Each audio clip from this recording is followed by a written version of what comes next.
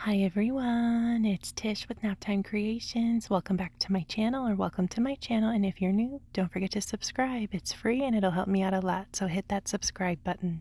Today we're going to be making some resin crystal clusters, so let's jump in and get started. I'm going to be pouring these two molds on the left here. I went ahead and sprayed the molds with a little 91% isopropyl alcohol. That will prevent bubbles from clinging down in the crystal points of your mold. I filled the molds up halfway with some light purple tinted resin, and here I'm just going in with a toothpick very carefully dislodging a few bubbles I had um, in the mold. And now I'm going to sprinkle on some of my iridescent Magnolia Sparkle Mylar glitter. You can get this from my Etsy shop. I'll link it down below.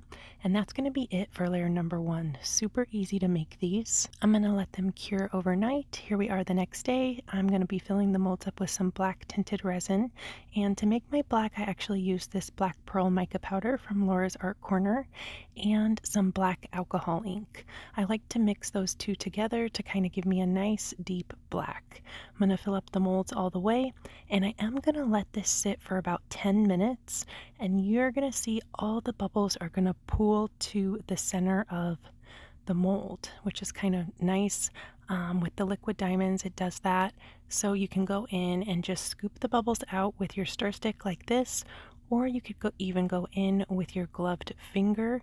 Just touch the bubbles and they pop really easily. I did go ahead and mix up my liquid diamonds off camera just to save time, but if you're new to resin and you want to see a tutorial showing step by step how I mix my liquid diamonds, I'll link one of my videos down below. It's a short one minute video, and in that video I show you step by step how to mix your liquid diamonds.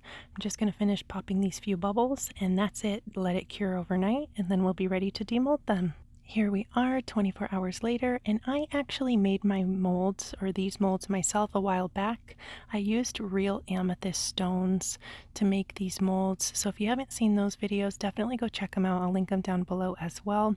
I show you step by step how to make your own molds, and the beautiful sparkle from those amethysts transfers to the silicone mold and then it will transfer to your resin creations.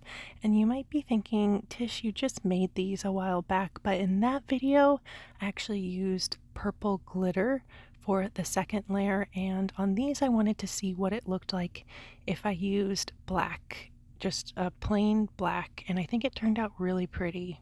Thanks so much for watching. Don't forget to subscribe to my YouTube channel, Naptime Creations, and I'll see you soon for another video. Bye, guys.